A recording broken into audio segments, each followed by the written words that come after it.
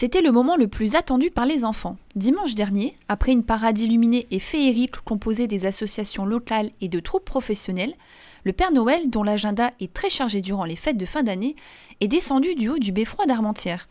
Le public venu en nombre pour assister au spectacle a pu également contempler un magnifique feu d'artifice. Nous profitons de ces belles images pour vous souhaiter à tous de belles fêtes de fin d'année.